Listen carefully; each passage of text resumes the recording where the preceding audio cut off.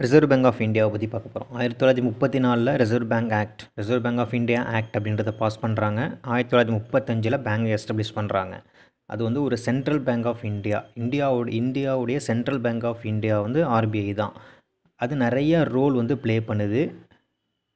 முக்கியமாக வந்து பார்த்தோன்னா மானிட்டரி ஃபங்க்ஷன்லையும் currency issue பண்ணுறதுலையும் maintaining the monetary stability in country நாட்டுடைய பணம் சம்மந்தமான நிலைப்படுத்துதல் அதை வந்து அந்த வேலையும் வந்து இந்த ஆர்பிஐ பண்ணுது. ஆயிரத்தி தொள்ளாயிரத்தி நாற்பத்தி ஒம்போதில் வந்து அரசுடைமையாக்குறாங்க. ஆர்பிஐ அப்படின்றது வந்து சென்ட்ரல் போர்ட் ஆஃப் டைரக்டர்ஸ் மூலயமா வந்து நிர்வகிக்கப்படுது. அவங்கள அப்பாயின்ட் பண்ணுறது வந்து கவர்மெண்ட் ஆஃப் இந்தியா வந்து அப்பாயின் பண்ணுவாங்க. ஆயிரத்தி தொள்ளாயிரத்தி முப்பத்தி நாலில் அண்டர் ஆர்பிஐ ஆக்டில் வந்து அண்டர் ஆர்பிஐ ஆக்ட் படி ஏப்ரல் ஒன்று ஆயிரத்தி தொள்ளாயிரத்தி முப்பத்தி அஞ்சில் வந்து எஸ்டப்ளிஷ் பண்ணுறாங்க இதோட ஆஃபீஸ் வந்து கல்கத்தாவில் வந்து முத முதல்ல அமைக்கிறாங்க. அதுக்கப்புறம் வந்து ஆயிரத்தி தொள்ளாயிரத்தி முப்பத்தேழில் மும்பைக்கு வந்து ஷிஃப்ட் பண்ணிடுறாங்க. சுதந்திரத்துக்கு முன்னாடி வந்து ராயல் கமிஷன் அப்படின்ற ஒரு கமிஷன் வந்து பிரிட்டிஷ் நியமிக்கிறாங்க. இந்தியன் கரன்சி சம்மந்தமாக நியமிக்கிறாங்க. அது அது வந்து ஆயி ஆயிரத்தி தொள்ளாயிரத்தி இருபத்தஞ்சி ஆகஸ்ட் இருபத்தி அஞ்சில் வந்து நியமிக்கிறாங்க. அந்த ராயல் கமிஷன் வந்து என்ன பண்ணுது அப்படின்னா இந்தியாவுக்கான சென்ட்ரல் பேங்க்கை வந்து எஸ்டப்ளிஷ் பண்ணுறதுக்கு சஜஸ்ட் பண்ணுறாங்க ஒரு மூணு நோக்கத்துக்காக அதை எஸ்டப்ளிஷ் பண்ணணும் அப்படின்னு சஜஸ்ட் பண்ணுறாங்க ஃபஸ்ட்டு வந்து to regulate the issue of bank note ரெண்டாவது வந்து பார்த்தோம் அப்படின்னா ஃபஸ்ட்டு வந்து பார்த்தோம் அப்படின்னா அந்த பேங்க் நோட்டை வந்து ரெகுலேட் பண்ணுறதுக்காகவும் ரெண்டாவது வந்து பார்த்தோம் அப்படின்னா இந்தியாவில் வந்து ஒரு செக்யூரான மானிட்டரி ஸ்டெபிலிட்டியை வந்து ரிசர்வ் பண்ணுறதுக்காகவும் மூணாவது வந்து பார்த்தோம் அப்படின்னா ஒரு ஜென்ரலான ஒரு காமனான கரன்சி அண்ட் கிரெடிட் சிஸ்டத்தை ஆப்ரேட் பண்ணுறதுக்காகவும் இந்த மூணு நோக்கத்துக்காகவும் தான் வந்து சென்ட்ரல் பேங்க் அப்படின்றத வந்து சென்ட்ரல் பேங்க்காக வந்து ஆர்பிஐயை வந்து இது பண்ணுறாங்க எஸ்டப்ளிஷ் பண்ணுறாங்க ஆயிரத்தி தொள்ளாயிரத்தி முப்பத்தி எட்டில் வந்து கரன்சி அடிக்கிறதுக்கு வந்து ஆர்பிஐ ஆரம்பிச்சிட்டாங்க. அஞ்சு ரூபா ரூ அஞ்சு ரூபாயிலேருந்து பத்தாயிரரூபா கரன்சி வரைக்கும் வந்து ஆயிரத்தி தொள்ளாயிரத்தி முப்பத்தெட்டுலேயே வந்து பிரிண்ட் அடிச்சிட்டாங்க. ஆஃப்டர் இண்டிபெண்டன்ஸ் வந்து என்ன ஆச்சுன்னா சுதந்திரம் வாங்கின பின்னாடி ஆயிரத்தி தொள்ளாயிரத்தி நாற்பத்தி எட்டில் ஆர்பிஐ ஆக்ட் மூலிமா வந்து ஆர்பிஐயை வந்து ரிசர்வ் பேங்க் ஆஃப் இந்தியா வந்து அரசுடைமையாக ஆக்குறாங்க. அதோட எல்லா ஷேருமே வந்து கவர்மெண்ட் ஆஃப் இந்தியாவுக்கு வந்து ட்ரான்ஸ்ஃபர் செய்கிறாங்க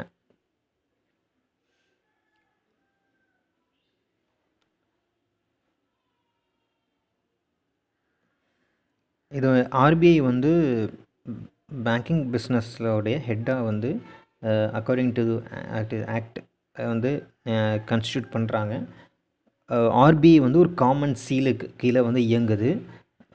ஆர்பிஐ வந்து it can be sued and sue இந்த common name of RB under the seal அப்படின்னு கொண்டு வந்துடுறாங்க. காமன் சீல் வந்து கிரியேட் பண்ணுறாங்க ஃபங்க்ஷன் ஆஃப் ஆர்பிஐ அப்படின்னு பார்த்தோம் அப்படின்னா மூணு ஃபங்க்ஷன் வந்து மெயினாக இருக்குது traditional function development functions supervisory function இந்த ட்ரெடிஷ்னல் ஃபங்க்ஷனில் வந்து பார்த்தோம் அப்படின்னா ஒரு ஆறு விஷயம் இருக்குது என்னென்னா ஃபஸ்ட்டு வந்து issuing currency section twenty two of RBI act nineteen thirty ஃபோரில் வந்து ஆர்பிஐ தான் வந்து சோல் ஆர் சோல் ரைட் இருக்குது ஆர்பிஐக்கு மட்டும்தான் வந்து கரன்சி அடிக்கிறது இந்தியாவில் வந்து இந்திய பணம் அப்படின்றத வந்து அச்சிடுவதற்கான தனிப்பட்ட உரிமை வந்து ஆர்பிஐக்கு மட்டும்தான் இருக்குது வேறு யாருக்கும் கிடையாது அப்படின்றத வந்து கொண்டு வர்றாங்க section twenty two of RBI act nineteen thirty ஃபோரில் ரெண்டு ரூபா கரன்சிலேருந்து ரெண்டாயிரரூபா கரன்சி வரைக்கும் ஆர்பிஐ தான் அடிக்கும். ஒரு ரூபா கரன்சி காயின்ஸ் வந்து ஆர்பிஐ அடிக்காது.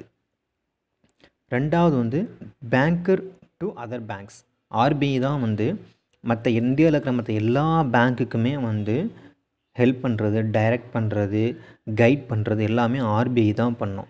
அந்த எல்லா பேங்க்குமே வந்து கண்ட்ரோல் பண்ணி அந்த பேங்க் ரிசர்வ் ரேஷியோன்னு ஒன்று உண்டு. அந்த ரிசர்வ் ரேஷியோ மெயின்டைன் பண்ணுறது வந்து ஆர்பிஐயோடைய வேலை ரெண்டாவது. மூணாவது வந்து பேங்கர் டு த கவர்மெண்ட் அரசுக்கு வந்து தேவையான டெபாசிட் பண்ணுறது டேக்ஸு அப்புறம் பேமெண்ட் பண்ணுறது கவர்மெண்ட்டை வந்து ஃபாரினில் வந்து ரெப்ரசன்ட் பண்ணுறது ஒரு இன்டர்நேஷ்னல் லெவலில் இது எல்லாமே வந்து ஆர்பிஐ பண்ணும். நாலாவது வந்து management of ex exchange rate அதாவது இந்திய ரூபாய்க்கான பண மதிப்பை ஃபிக்ஸ் பண்ணுறது அதை மெயின்டைன் பண்ணுறது வந்து ஆர்பிஐ பண்ணுவாங்க. இப்போ வந்து டாலர் டாலர் வந்து இந்திய ரூபாய்க்கு எழுபது ரூபாய்க்கு ஈக்குவல்னு சொல்கிறோம்ல அதே மாதிரி ருபி ருப்பி அப்படின்றது மற்ற இன்டர்நேஷ்னல் லெவலில் எவ்வளோ அப்படின்றது மெயின்டைன் பண்ணுறது எக்ஸ்சேஞ்ச் ரேட்டை மெயின்டைன் பண்ணுறது ஆர்பிஐயோட வேலை. அப்புறம் வந்து கிரெடிட் கண்ட்ரோல் பண்ணுறதும் வந்து ஆர்பிஐயோடைய வேலை. அதாவது எந்த அளவுக்கு கிரெடிட் கொடுக்கலாம் அப்படின்ற மற்ற பேங்க்கு ஓவராலாக கமர்ஷியல் பேங்க் எல்லாமே கண்ட்ரோல் பண்ணுறது ஆர்பிஐயோடைய வேலை. அஞ்சாவது. ஆறாவது வந்து சூப்பர்விஷன் சூப்பர்விஷன் அப்படின்றது வந்து supervising the commercial banks and licensing the commercial banks எல்லாமே வந்து ஆர்பிஐயோட வேலை. அப்புறம் இரண்டாவது பெரிய வேலை வந்து டெவலப்மெண்ட் ஃபங்க்ஷன் ரெண்டாவது பெரிய ஃபங்க்ஷன் வந்து டெவலப்மெண்ட் ஃபங்க்ஷன் இது ட்ரெடிஷ்னல் ஃபங்க்ஷன்ஸ் ஆறு வகையான ட்ரெடிஷ்னல் ஃபங்க்ஷன் இல்லாமல் டெவலப்மெண்ட் ஃபங்க்ஷனும் ஆர்பிஐ பண்ணுறாங்க டெவலப்மெண்ட் ஃபங்க்ஷனில் என்னென்னா financial system development financial dev system development அப்படின்றதுல வந்து develop developing the financial institution financial market financial instruments இதை வந்து டெவலப் பண்ணுறது வந்து ஆர்பிஐயோட வேலை. அப்புறம் வந்து under the development function RBI encouraging the banking and non banking institution. அதுக்கப்புறம் வந்து அக்ரிகல்ச்சர் டெவலப்மெண்ட் அக்ரிகல்ச்சர் டெவலப்மெண்ட் வந்து இந்த நபார்டு பேங்க்கு அப்புறம் rural bank regional rural bank இதெல்லாம் இது மூலிமா வந்து அக்ரிகல்ச்சர் டெவலப்மெண்ட் அப்புறம் வந்து ICICI bank IDBI bank SIDBI bank இது மூலிமா வந்து இண்டஸ்ட்ரியல் டெவலப்மெண்ட்டுக்காக ஃபினான்ஸ் பண்ணுறதும் ஆர்பிஐ வேலை. எக்ஸிம் பேங்க் எக்ஸ்போர்ட் இம்போர்ட் பேங்க்கு இசிஜிசி பேங்க்ஸ் இதன் மூலிமா வந்து எக்ஸ்போர்ட் இம்போர்ட்டை வந்து ப்ரொமோட் பண்ணுறது ஆர்பிஐயோட வேலை. ரிப்போர்ட் பப்ளிகேஷன் ஸ்டாட்டிஸ்டிக்ஸ் சம்மந்தமான பணம் இன்ஃப்ளேஷன் சேவிங்ஸு இன்வெஸ்ட்மெண்ட்டு டிஃப்ளமேஷன் இது சம்மந்தமான ரிப்போர்ட் பப்ளிகேஷன் பண்ணுறதும் ஆர்பிஐ வேலை. இது சம்மந்தமான டேட்டா கலெக்ட் பண்ணுறது இதுவும் வந்து ஆர்பிஐடைய வேலை. ஆர்பிஐயோட ஃபங்க்ஷன் அதுக்கு தேர்ட் வந்து சூப்பர்வைசரி ஃபங்க்ஷன் சூப்பர்வைசரி ஃபங்க்ஷன்னா ஏற்கனவே சொன்ன மாதிரி பேங்க் மற்ற கமர்ஷியல் பேங்க்குக்கு வந்து லைசன்ஸ் கொடுக்கறது. அந்த பேங்க் வந்து கரெக்டாக வந்து ரூல்ஸ்லாம் ஃபாலோ பண்ணுறாங்களா அப்படின்னு இன்ஸ்பெக்ட் பண்ணி அவங்கள ஆடிட் பண்ணுறது அதே மாதிரி மற்ற நான் பேங்க் ஃபினான்ஷியல் இன்ஸ்டிடியூஷன் இருப்பாங்க இல்லையா அவங்கள வந்து கண்ட்ரோல் பண்ணுறதும் ஆர்பிஐயோட வேலை தான். இதுவும் இல்லாமல் சில இனிஷியேட்டிவ் வந்து ஆர்பிஐ எடுத்திருக்கு. என்னென்னா கம்ப்யூட்டரைஸ் பண்ணுறது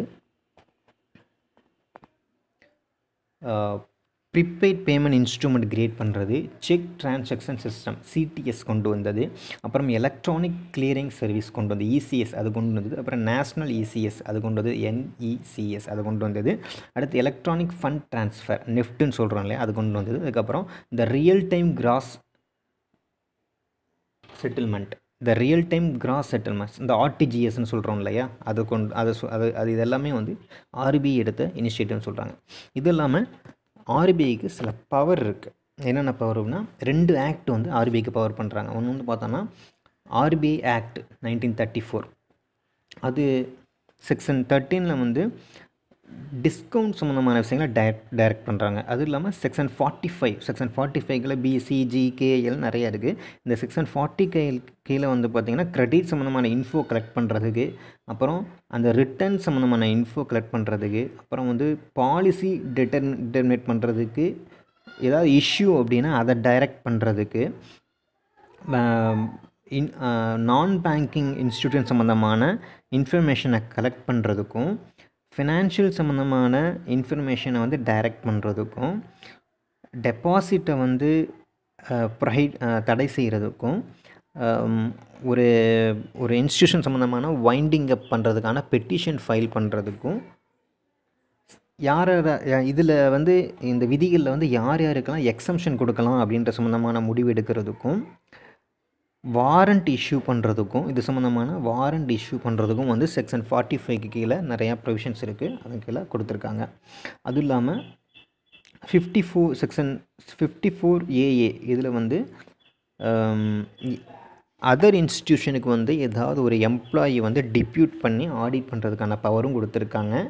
Section fifty eight G under section fifty eight ஜியில் வந்து ஃபைன் இம்போஸ் பண்ணுறதுக்கும் பவர் கொடுத்துருக்காங்க.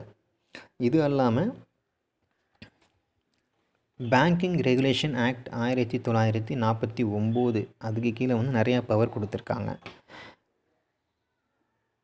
செக்ஷன் டென்னில் வந்து பார்த்தோன்னா ஒரு அப் ஒரு சேர்மன் அப்பாயின் பண்ணுறதுக்கும் டைரக்டர்ஸ் அப்பாயின் பண்ணுறதுக்கும் எம்டி அப்பாயின் பண்ணுறதுக்கும் பேங்கிங் கம்பெனியில் பவர் கொடுத்துருக்காங்க. செக்ஷன் டுவெண்ட்டி ஒனில் வந்து பார்த்தோன்னா control the advances of banking companies அதுக்கு பவர் கொடுத்துருக்காங்க.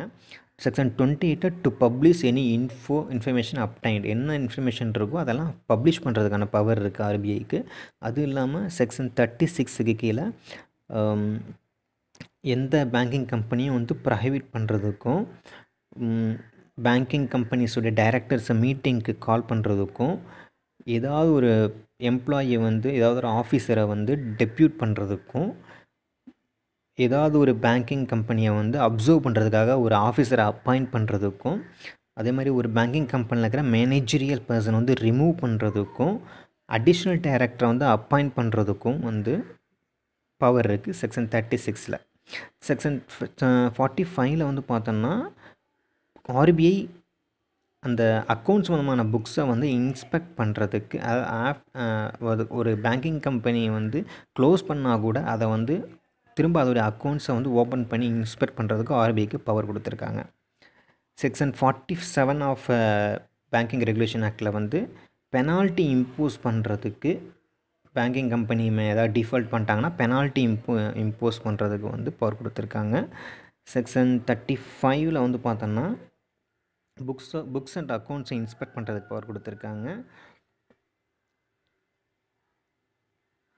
Direct special audit special audit direct பண்ணுறதுக்கும் வந்து செக்ஷன் தேர்ட்டியில் வந்து பவர் கொடுத்துருக்காங்க. இந்த மாதிரி ரெண்டு act RBI act and banking regulation act மூலிமா ஆர்பிஐக்கு இந்த பவர்லாம் கொடுத்துருக்காங்க. இதுதான் வந்து powers and functions of RBI